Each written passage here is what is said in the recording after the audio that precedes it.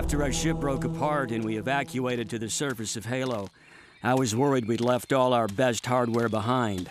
No, I'm not talking about military hardware like jeeps, tanks, or dropships. I'm talking about graphics hardware.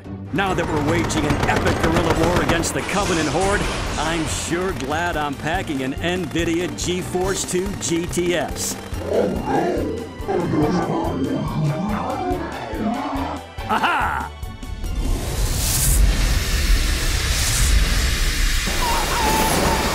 Whoa.